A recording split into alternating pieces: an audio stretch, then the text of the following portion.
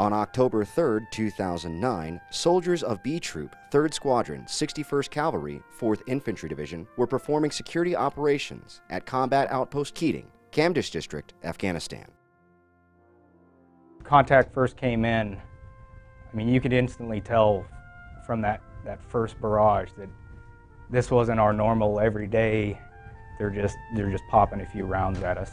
Uh, woke up to some explosions in the morning and uh, headed for the talk. We heard the initial explosions, um, the initial gunfire go off, and then uh, about 15, 20 minutes later, we realized like it was something a little more serious than usual. We're getting hit from all over, 360.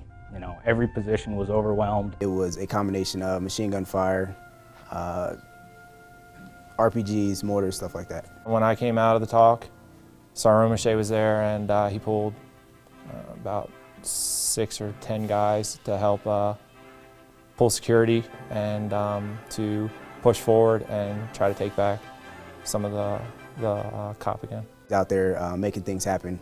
He would communicate with me consistently in order to figure out where we need to basically put fire support, where he needed mortar support or air support. He pretty much retook the cop. Uh, I thought I was never going to see my family again. And when they started retaking back the cop, you know, he was the spearhead of that. And uh, I wish all the best for him.